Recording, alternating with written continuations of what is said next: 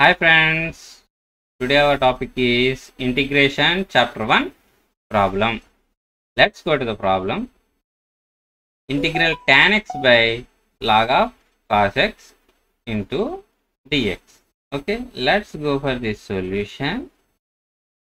First write the given information. Integral tan x by log cos x dx.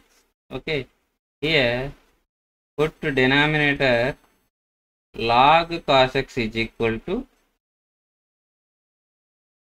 t. So differentiation of differentiation on both sides.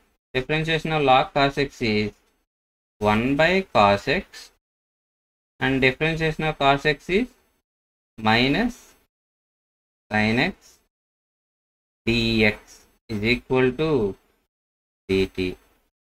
So sin x by cos x is minus tan x dx is equal to dt. So tan x is dx is equal to minus dt. Substitute in our problem. Integral tan x dx place replace with minus dt integral minus dt by log cos x place replace with t is equal to minus of integral 1 by t dt is equal to minus of uh, log t plus constant of integration. So minus of log, what's the value of t?